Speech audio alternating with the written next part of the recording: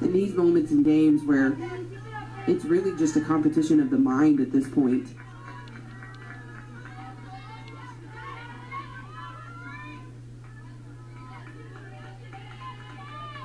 Bears need an out to send it to the bottom of the 15th. Deep to left field. DeBold goes back and it is gone. A grand slam home run by Tori Schullian, her second home run of the year. Great at bat there from Schullian. She spoils a lot of Dickerson's really good pitches. Able to get a pitch that's a little bit elevated in the zone, not quite as tight on the corner as it has been, and takes advantage of that opportunity.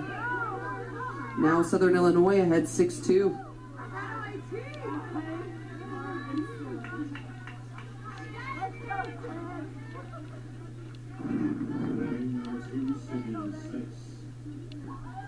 The SIU dugout obviously coming to life on that grand slam home run by Tori Schullian. Sydney Sykes to the